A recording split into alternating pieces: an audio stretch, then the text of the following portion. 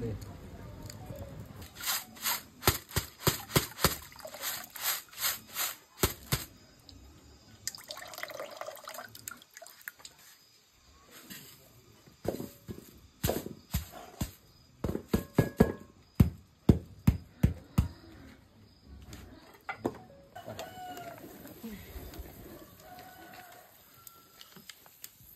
anh xem này, còn lợn ngon chưa? Chúng ta luộc thịt ở trong veo như này cơ mà đấy chuẩn lợn bản mình đấy. Ngon lắm.